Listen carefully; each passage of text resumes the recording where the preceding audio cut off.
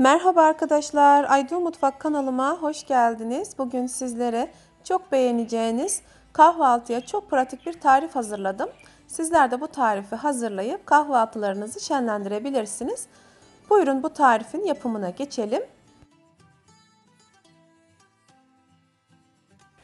İstediğiniz miktarda ben siyah ekmek kullandım. Siyah ekmek veya herhangi bir çeşit beyaz ekmeği de kullanabilirsiniz. Fırın kağıdı serili tepsinin üzerine ekmeklerimizi alalım. Üzerine hazırlayacağımız malzemeleri doğrayalım. Böyle bir adet kırmızı biberi küçük olacak şekilde hem küçük hem de gayet ince olacak şekilde doğrayalım. Yoksa pişmez fırının içerisinde.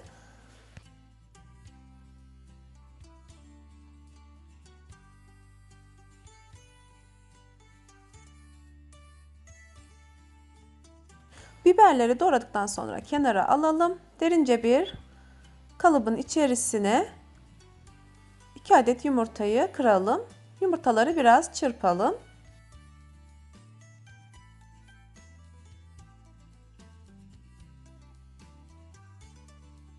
Sonra üzerine 200 milimlik bardakla bir su bardağı süt ilave edelim ve çırpalım.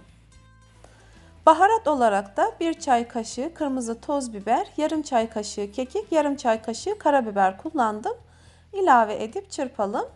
Bir tatlı kaşığı kadar da dereotunu doğrayıp üzerine ilave edelim ve karıştıralım. Elinizde maydanoz varsa maydanoz da ilave edebilirsiniz. Bir kalıp beyaz peyniri de bu karışımın içerisine kırıklayalım.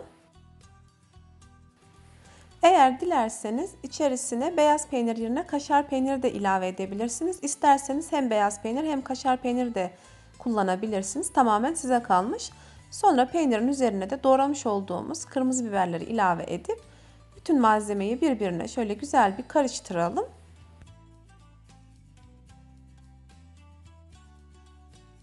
Sonra bu malzemeyi ekmeklerin üzerine her tarafına gelecek şekilde sürelim.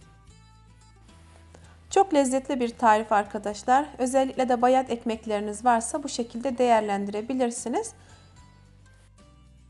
Çok çabuk hazırlayıp fırında da bir 10 dakika tutup çıkartıp servis edebilirsiniz. Bu şekilde üzerlerine sürdükten sonra isterseniz her ekmeğin üzerine de biraz sıvı yağ gezdirebilirsiniz.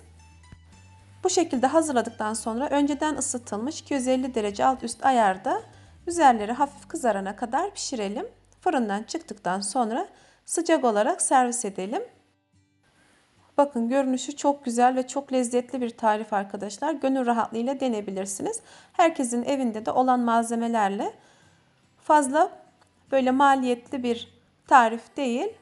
Hepimizin evindeki olan malzemelerle sizler de bu tarifi yapabilirsiniz. Bu şekilde de dilimleyip servis ettim. Bakın görünüşü çok güzel. Pizza tadında bir tarif. Mutlaka deneyin. Bugünlük benden bu kadar. Eğer videomu beğendiyseniz lütfen beğeniye basmayı ve abone olmayı unutmayın. Bir dahaki videomda görüşmek üzere. Hoşçakalın.